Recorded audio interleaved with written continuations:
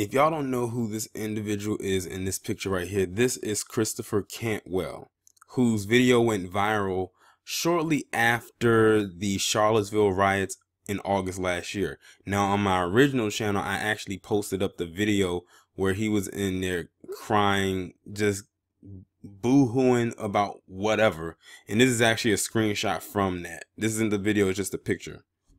And like I said, it went viral and he was a part of that whole unite the right riot because that's basically what it was and i don't know why they call it unite the right. It was just a it was like one big clans clown meeting that went completely out of control but then again when it is when is it ever in control? Well it has just come out today that mr cantwell wasn't all who he claimed to be and something told me that this that little facade and that little theatrical dramatic performance he gave on camera was just for show and for views because it didn't seem genuine at all. So it turns out that Christopher Cantwell is indeed an FBI informant and or agent. You're probably like, how did you find this out? Well, Christopher Cantwell told us he came out of his own mouth and said that he was an FBI, not FBI agent, an informant for the FBI. So he was basically used as a plant to go there, get information, and get it back to the FBI. But when I was reading through the article, it wasn't he wasn't getting information for um on the behalf of the alt right, or as I call them, the alt wrong. He was there to get information on Antifa, which is the group that the alt wrong has beef with.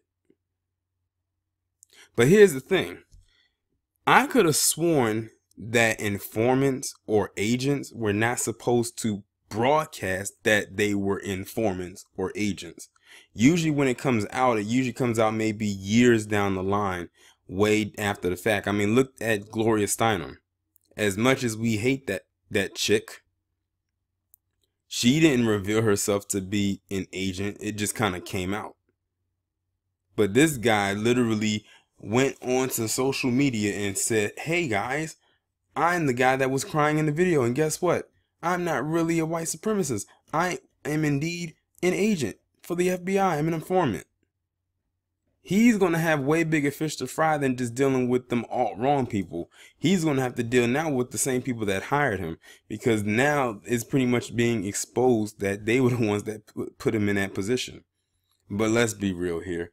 All of us have known for years that they have agents and plants and informants to get into every type of organization. Look at what happened with the Black Panthers. I'm almost well, not almost, I'm for sure certain that many agents were planted within that organization, as well as other or um um I could say organ organizations that were beneficial to black people.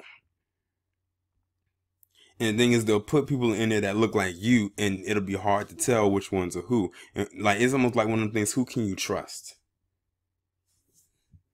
But he was dumb to get out there and actually broadcast to the world that he was an agent. Now, now he's really going to have to go into hiding. So it's like it's it's funny, but it's also dumb on his part at the same time. So he better find a way to create a new identity now, be, or unless it might already be too late for him, because you know it's not going to take too much for them to find him, especially since they are the ones who hired him. Y'all let me know what you think down in the comments.